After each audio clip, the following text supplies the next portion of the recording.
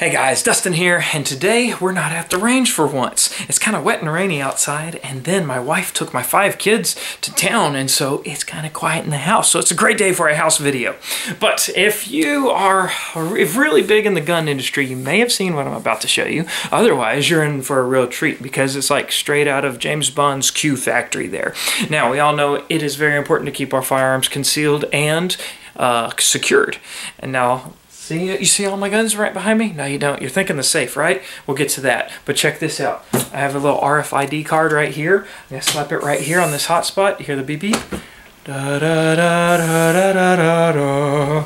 Isn't that cool? And so right here I have my SBR 300 Blackout and my 9mm M&P just right there, quick and easy access. Now sure, I've got the gun safe over there too, and that's uh, that's the reason I picked the digital gun safe uh, lock because, you know, a combination at night, that's going to take forever. But with this, uh, it's a little faster. But I tell you what, in a couple of years I've had a few mishaps, not mishaps, just I found the the downfall of a quick combo, uh, a digital safe because if you're putting in the code and you, well, you, you put it in too fast, you're distracting and, you're trying. Crud! That's what happens. You shut it down when you put the wrong code in, and then now we're locked out until the timer wants to allow us to go again.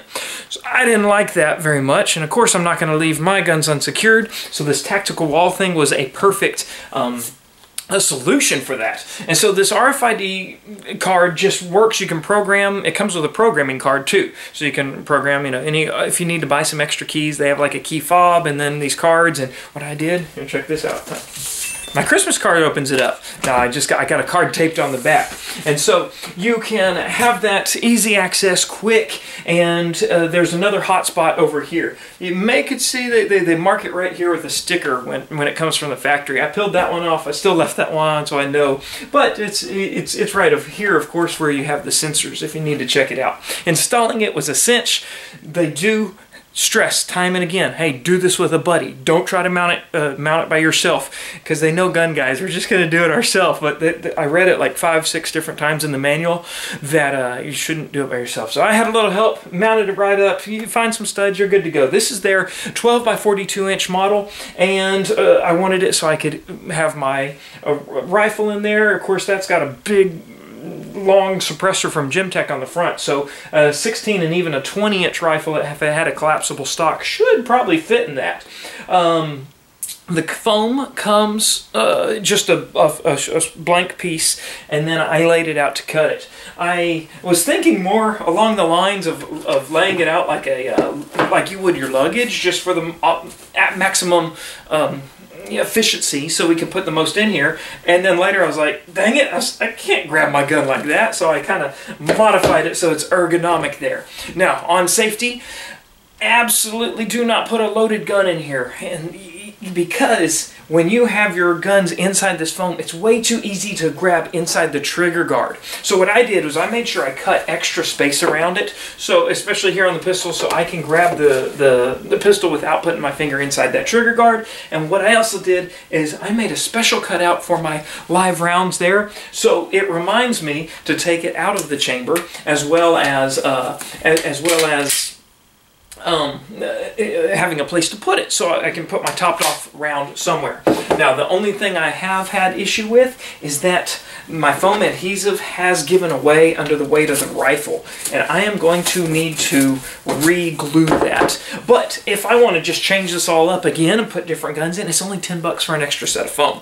And so this is my uh, LaRue uh, SBR and 300 Blackout and uh, it works great. Usually I have the sling off, I just took it off for the video video.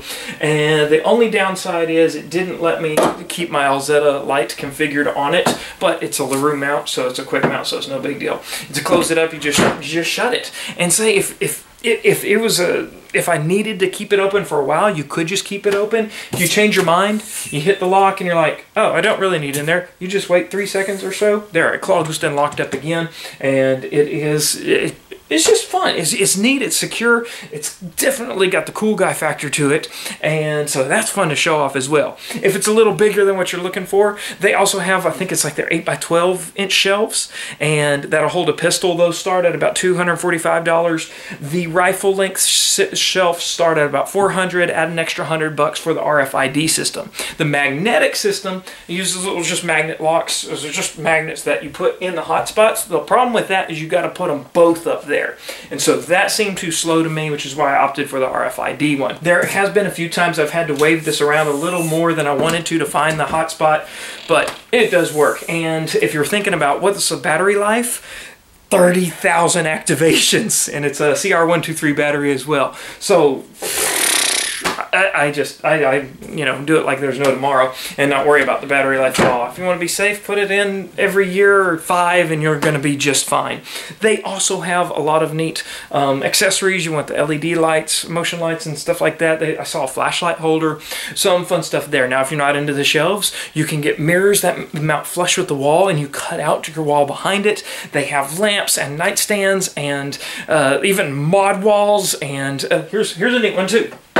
Okay, I don't normally keep this one loaded, but if you have an issue, you have your issue box with, oh, there we go. It holds my Walther PPS, even with a, a little bit of an extended mag.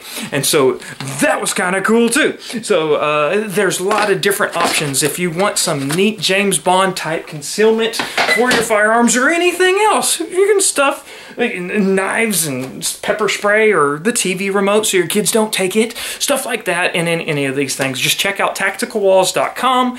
Neat stuff. You're going to like it. I have. Y'all stay safe. Keep your gun secure. There you go. I'm out.